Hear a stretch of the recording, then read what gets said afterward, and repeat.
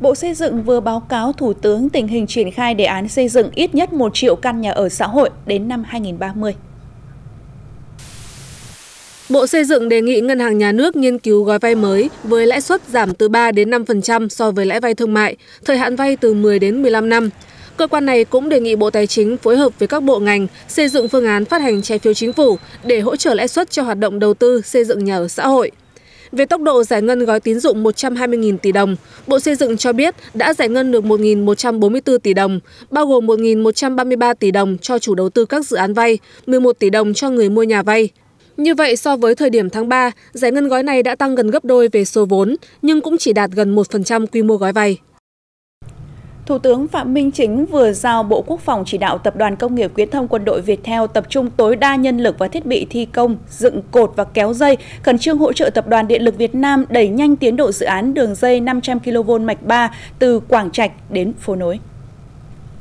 Thủ tướng Chính phủ nhấn mạnh khối lượng công việc còn rất lớn trong khi thời gian không còn nhiều, do đó đề nghị các bộ ngành địa phương tập trung đẩy nhanh tiến độ. Bộ Tài nguyên và Môi trường phối hợp với Tập đoàn Điện lực Việt Nam khẩn trương tổ chức thẩm tra để hoàn thiện khung chính sách bồi thường, hỗ trợ tái định cư cho các dự án. Bí thư tỉnh ủy và bí thư cấp ủy các cấp thường xuyên kiểm tra đôn đốc, huy động lực lượng tại chỗ hỗ trợ chủ đầu tư, nhà thầu, tổ chức thi công dự án tại địa phương, kịp thời động viên công nhân người lao động làm việc tại công trường. Tập đoàn Điện lực Việt Nam, Tổng công ty truyền tải điện quốc gia ra soát, hoàn thiện lại đường găng tiến độ, bảo đảm đến 20 tháng 6 tới sẽ hoàn thành việc kéo dây và hoàn thành đóng điện trước ngày 30 tháng 6 năm 2024 nhằm mục đích tăng cường mối liên kết giữa các doanh nghiệp, đồng thời chia sẻ kinh nghiệm chiến lược và cơ hội kinh doanh lẫn nhau, thúc đẩy sự phát triển của doanh nhân và doanh nghiệp. Tại Hà Nội, Ngày hội kết nối doanh nghiệp đã được tổ chức.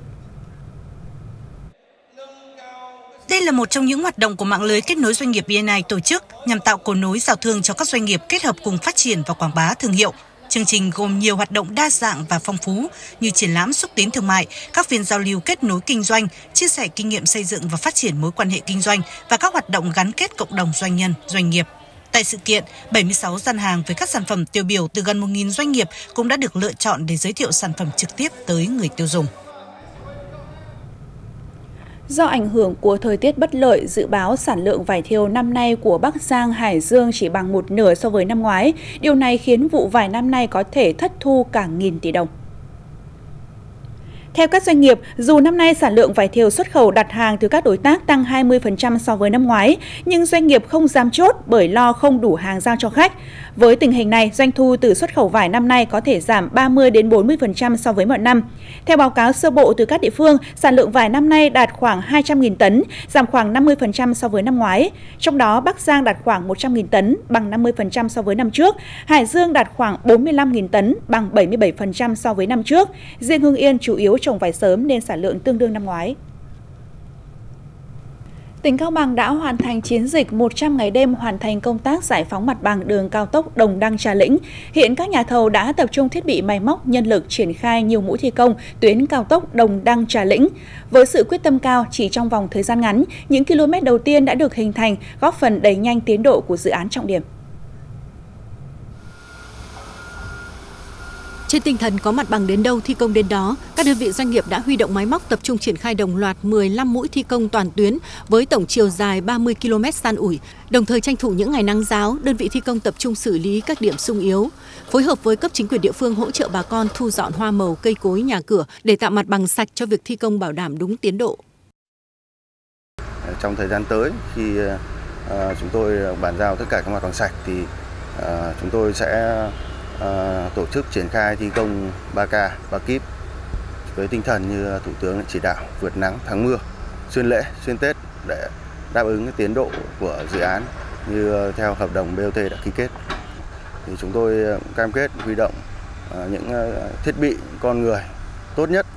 để triển khai dự án đảm bảo về tiến độ, chất lượng và an toàn về đích đúng hẹn. Đến ngày 22 tháng 3 là đã bàn giao toàn bộ mặt bằng cho đơn vị thi công với toàn tuyến tổng chiều dài gần 7 km qua địa bàn của 4 thôn. Toàn xã là có 5 thôn mà tuyến cao tốc là qua 4 thôn. Là toàn bộ là 241 hộ dân là đồng thuận đều 100% là ký cam kết bàn giao sớm mặt bằng cho đơn vị thi công. Hiện tại là đơn vị thi công đang đang thi công toàn tuyến trên địa bàn xã. Đối với phần diện tích còn vướng về mặt bằng, các địa phương chủ động phối hợp với các cơ quan chức năng, tiếp tục thực hiện công tác thu hồi bồi thường hỗ trợ tái định cư đúng quy định, tập trung tháo gỡ những khó khăn vướng mắc liên quan đến cơ chế chính sách hỗ trợ cho người dân bị ảnh hưởng, tăng cường ý thức chấp hành kỷ luật trên công trường như thực hiện mệnh lệnh trên chiến trường, bảo đảm an toàn trong thi công, đồng thời tích cực đề xuất các giải pháp nhằm thực hiện hiệu quả tiến độ của dự án theo kế hoạch đề ra. Tối ngày 25 tháng 5 tại khu công nghiệp Vờ Ship, huyện Thủy Nguyên, Hải Phòng, Hội Liên hiệp Thanh niên Việt Nam phối hợp với công ty TCP Việt Nam tổ chức đêm nhạc hội trong chuỗi các hoạt động Ngày hội Thanh niên năm 2024 tại các khu công nghiệp, khu chế xuất với chủ đề Thanh niên công nhân lan tỏa năng lượng tích cực. Năm 2024, Ngày hội Thanh niên công nhân với chủ đề Thanh niên công nhân lan tỏa năng lượng tích cực đã được tổ chức tại 6 khu vực là Đà Nẵng, Thanh Hóa, Nghệ An, Thái Nguyên, Bắc Giang và Hải Phòng. Trong đó, ngày hội được tổ chức tại Hải Phòng đã khép lại chuỗi hoạt động của Ngày hội Thanh niên công nhân năm nay. Tại ngày hội đã có hàng nghìn thanh niên công nhân được trao quà an sinh, tư vấn khám chữa bệnh, phát thuốc miễn phí, mua hàng tại các hội trợ giảm giá, bình ổn giá, trong khuôn khổ ngày hội cũng đã diễn ra vòng chung kết giải bóng đá nam thanh niên công nhân Cúp Red Bull 2024. Một trong những điểm nhấn của chương trình là đêm nhạc hội Thanh niên công nhân lan tỏa năng lượng tích cực, nơi các bạn trẻ vừa được thưởng thức nhiều tiết mục nghệ thuật hiện đại và đặc sắc với sự xuất hiện của các nghệ sĩ có sức ảnh hưởng, vừa có thể tự tin thể hiện năng khiếu qua cuộc thi tìm kiếm tài năng thanh niên công nhân.